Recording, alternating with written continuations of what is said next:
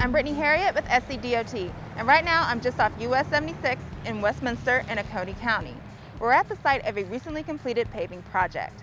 Today we're going to be speaking with Alan Adams, who is the resident construction engineer for Oconee County, who's going to give us more details about the recently completed work.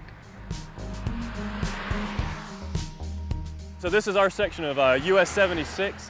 It's uh, the total stretch for this particular road was about 6.76 miles. It starts in after Seneca. It goes all the way through the downtown Westminster area. Uh, this was a, a mill and replace job, and it's, that means we basically full depth patch for about eight inches. Uh, we find we shoulder widen. We widen this road about four feet on either side, and we mill out the top two inches, replace it with uh, two inches of fresh asphalt. When was this road completed? This road was completed about a month ago. What are the new safety features for this road? So for this particular road, like I mentioned, we did the four foot widening on either side and we also installed these rumble strips, which are becoming a lot more common in South Carolina.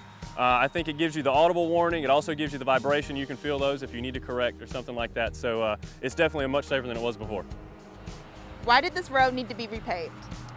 Well, this road needs to be, be repaved. This is kind of the main road uh, that goes all the way uh, through Westminster, goes all the way into Pickens County. So it's a long road, it's a very busy road. Uh, so repaving it not, uh, not only gives you a nice new blacktop, a smooth blacktop to ride on, but it makes it much safer as well. Thank you, Alan, for all of that information. We're now going to take a look at some other recently completed paving projects here in Oconee County, which are all also a part of SCDOT's strategic 10-year plan. Two miles of SC11 or Cherokee Foothills Scenic Highway. This road was paved going through the town of West Union.